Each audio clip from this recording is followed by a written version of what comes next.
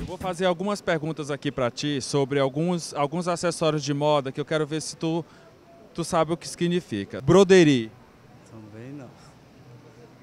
suspensório. Sei.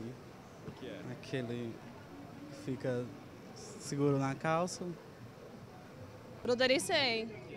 É um, tipo, é um pano assim, um pouco renda, mais ou menos, abertinho. A senhora sabe o que é broderie? Sei. É um, tecido muito bom e fica muito bonita a roupa feita dele, de broderie. Alpicatas, a senhora sabe o que é? Sei, o percata, sei. Já usei. Quando criança. Depois de adulta, não, porque eu, não, eu só uso sapatinho ou sandália assim, baixa.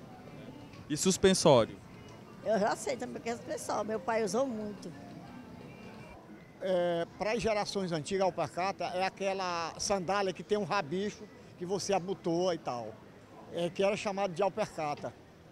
E broderie, o senhor sabe o que é broderie? Também sei, broderia é aquela, que é, aquela, é aquela estampa que a mulher usa, aqueles, que é bordado e tal. Suspensório. Suspensol, Suspensório.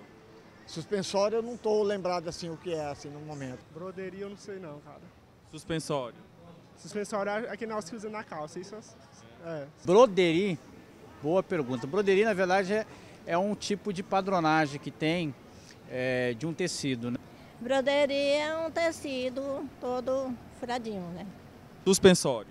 Suspensório é o- a pessoa quando tá, veste aqui, né? Na calça, que ela tá velhinho, ou que veste macaquinho também, né? A suspensório.